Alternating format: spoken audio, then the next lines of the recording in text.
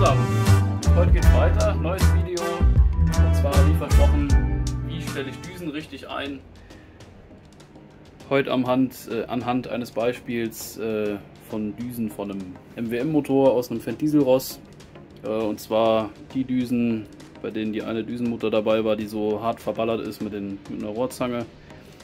Ich weiß nicht, ob ihr das seht, aber das Loch von der Düse, hier das Gewinde außenrum, ist auch leicht oval durch das Zusammenquetschen mit der Zange hier. Das merkt man auch beim Anziehen. Äh, ja, dreht sich nicht mehr so schön, aber geht noch zu, geht noch bei. Ähm, ist halt blöd, weil gibt keinen Ersatz mehr. Das heißt, da müssen wir die alte Düsenspannmutter verbauen. Ähm, eingesetzt sind hier die klassischen GN0 SD211 die sind ja in ziemlich vielen drin, vor allem auch in vielen Deutz. Ähm, Düsen sind schon zerlegt, wie ihr seht. Ähm, schon gereinigt, schon bruniert.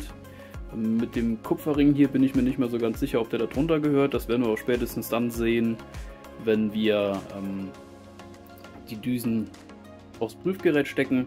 Wenn der Druck dann extrem zu niedrig ist, ist das eigentlich immer ein relativ eindeutiges Indiz dafür, dass äh, ja, da kein Kupferring drunter gehört. Ähm, Feder und Druckbolzen sind schon drin. Das könnt ihr hier hören. Ich glaube, das kriegt jeder hin, wenn er die Dinger auseinandergekriegt hat. Das ist ja einfach die Feder, ähm, der Druckbolzen und die, die Einstellscheibe bzw. die Einstellscheiben. Was wir jetzt auf jeden Fall noch machen, ihr seht hier, die Dichtfläche ist auch nicht mehr so rosig. Da sieht man noch den Abdruck von der alten Düse. Die werden wir jetzt noch planen. Und zwar unter Zuhilfenahme von Schmirgelpapier und einer Glasplatte. Je nachdem, vielleicht gehe ich da auch mit Ventileinschleifpaste dran, mit der rauen. Ähm, müssen wir dann nachher nur polieren, dass das alles sauber wird. Ähm, Mache ich jetzt mal schnell im Zeitraffer und dann geht es weiter mit dem Zusammenbau. Einfach damit keine Krümel vom Schmirgelpapier nachher drin sind, dass alles wirklich sauber ist, weil wenn das Zeug in der Düse hängt, dann ist die Düse direkt hinüber. Also ihr seht hier schön Feder, ne? Dann hier unseren in Anführungszeichen Druckbolzen. In dem Fall ist das eine Kugel. Und äh, eine ganze Ladung Einstellscheiben. Kugeln, ne? Wahrscheinlich hat man deswegen da später den Druckbolzen erfunden, weil die Kugeln regelmäßig weggerollt sind. Okay, ich schmeiße das mal alles hier rein, weil dann kommt es nicht weg. Und dann äh, können wir jetzt anfangen zu schleifen.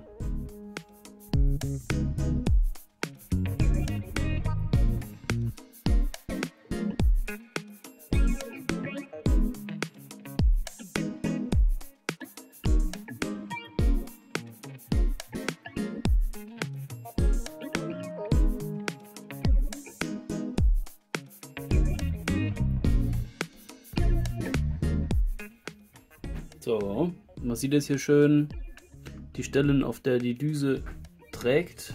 Ne, hier außen. Die sind jetzt wieder sauber und schön plan. Jetzt polieren wir die Fläche noch auf. Das hier war 800er Schmirgel, jetzt nehmen wir 1000er. Und äh, ich benutze immer Nassschmirgelpapier dafür. Mit einem Schluck Diesel drauf. Und dann äh, polieren wir die Fläche jetzt auf.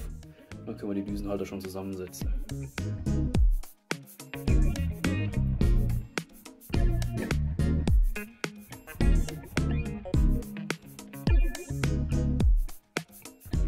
Ihr seht, schön blank. Die ziehen wir jetzt noch einmal mit grüner Bosch Schleifpaste ab und dann sind wir da sauber.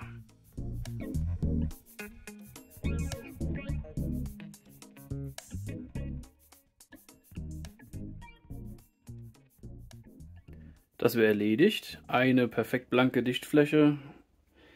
Mit der zweiten habe ich das natürlich schon gemacht. Jetzt hier noch einmal zur Veranschaulichung.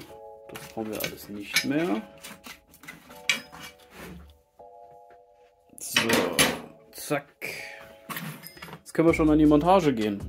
Einmal alles sauber gemacht. Können wir dann einfach hier einmal in den Schraubstock spannen. Und das Hilfenahme des Knies in meinem Fall, weil nur eine Hand. So. Dann brauchen wir unsere Innereien. Natürlich wie immer schwimmend montieren.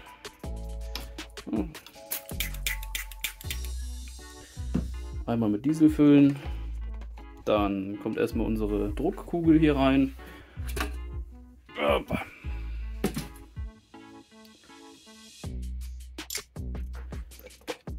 Dann kommt die Feder dazu. Dann kommen die Einstellscheiben rein.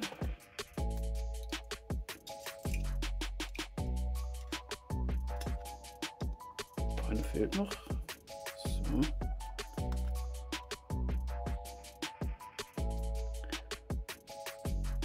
Und dann kommt oben die Spannmutter, die kleine, also die, die Mutter mit der Rücklaufbohrung. Die wird dann auch einmal reingeschraubt und angezogen. Und dann können wir uns die Düse mit der Mutter vornehmen. Also wie das hier aussieht, kommt die höchstwahrscheinlich wirklich ohne den Kupferring hier rein. So wie der da drin rumrutscht. Oder? Naja, wie gesagt, werden wir auf dem Prüfgerät sehen. Kann ich jetzt aktuell keine Aussage zu treffen. Einmal anziehen. Einmal umdrehen. So, jetzt müssen wir die Düse vorbereiten. Und zwar müssen wir die einmal ausspülen. Die kommt immer in so einem Lageröl. Normalerweise soll man die sogar mit Bremsenreiniger oder Benzin putzen. Aber bis jetzt hat sich bei mir eigentlich immer erledigt, wenn man die in Diesel getaucht hat und einfach mal ein paar Mal in sich selber auf und zu gemacht hat. Wichtig ist, dass die Düsennadel die letzten 5 mm von selber in die Düse reingleitet, wenn man die rauszieht. Ne, ihr seht das hier. Das muss die machen. Dann ist alles tippitoppi. Da können wir hier die Düse schon aufsetzen nehmen noch unsere Düsenspannmutter. Das ist jetzt leider die, die nicht so gut geht. Müssen wir dann mit dem Schlüssel nachziehen. Und man merkt das hier, die hat immer so eine Stelle, wo sie hart geht. Aber weil man die noch von Hand drehen kann, ist das gerade noch so grenzwertig in Ordnung.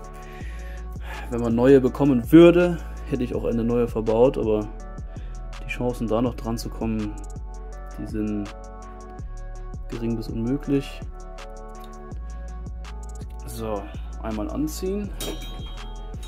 Mit der Rohrzange? Nein, natürlich nicht, mit dem Schlüssel. So. Das soll reichen. Nicht, dass die Spannmutter reißt. Und dann können wir schon ans Düsenprüfgerät. Ich habe hier leider noch kein eigenes. Die Löcher sind schon da. Mein Prüfgerät kommt auch nächste Woche. Aber da müssen wir für die andere Werkstatt runter und dann können wir die mal schön abdrücken. Das Schmankerl will ich euch natürlich nicht vorenthalten. Guckt euch mal die PFR an. Ist einfach geil geworden, oder? Wenn man die mal mit vorher vergleicht. Moment, ich blende das mal gerade ein. Das ist schon ein dezenter kleiner Unterschied. Die kann man jetzt so verbauen und dann läuft der Schlepper hoffentlich wieder. Die Düsen machen wir jetzt gleich noch fertig und dann äh, ja, habe ich hoffentlich wieder jemandem geholfen. Ja, wer hätte es gedacht?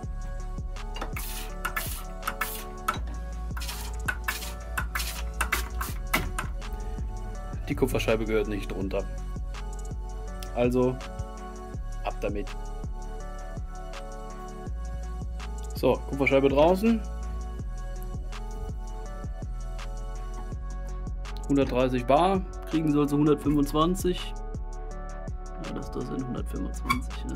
Ja, gut. Müssen wir trotzdem noch nachlegen. Wir gucken uns jetzt mal noch das Spritzbild an. Nicht so, sondern so. Und wir sehen, die hat ein sehr enges Spritzbild. Und dicht ist er auch. Fällt kein Tropfen.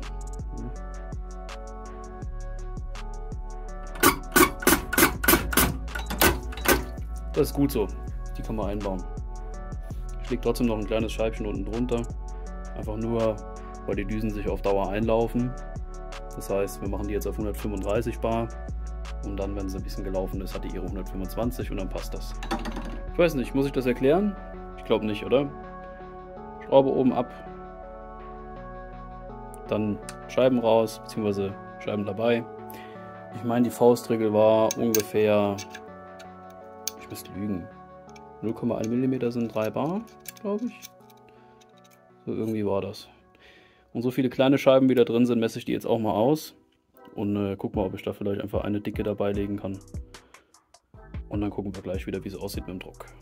Scheiben angepasst. Vorher waren es 2,3 mm, jetzt sind es 2,4. Also 0,1 mm sind 10 Bar. Wir sehen jetzt hier Öffnungsdruck ne, knappe 100, 140, 125 bis 130 Bar darf sie haben. Das passt also. Und Spritzbild, ne? man hört schön, die schnarrt schön.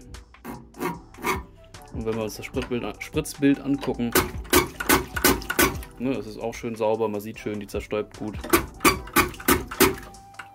Kann man so einbauen. Perfekt. Ziehen wir jetzt noch einmal an. Machen wir die zweite noch und dann können die auch wieder weg. Ich hoffe, dir hat das Video gefallen und äh, ich hoffe auch, dass du ein bisschen was lernen konntest hierbei. Ähm, falls ihr mal ein bisschen intensivere Videos zu Düsen wünscht, sagt mir doch einfach mal Bescheid. Ähm, ich kann ja mal die ganzen Schnarr-Kennfeldgruppen etc. vorstellen und äh, ja, es gibt ja mehr als genug Sachen bei den Dingern zu beachten. Also ist nicht einfach nur, ich kaufe neue Düsen und setze die ein und es geht, sondern da muss schon noch ein bisschen Liebe mit rein. Die hier sind jetzt zum Beispiel von einem Feuerwehrclub aus der Gegend, die ihren alten Feuerwehrwagen aus 1950er Jahren restaurieren, einen alten Latil, französische Bauart. Das ist auch noch ein ganz interessantes Themenfeld, weil die Düsen halt echt speziell sind. Ähm, ja, da gibt es jetzt hier zum Beispiel noch den, den Düsenöffnungsweg, den man hier einstellen kann, indem man hier den Stift kürzer macht oder länger. Da gibt es verschiedene Längen und und und zum Austauschen. Das ist ja eine Katastrophe das einstellen. Naja, bis dahin, Like und Abo nicht vergessen. Ich wünsche euch Spaß. Euer Dominik.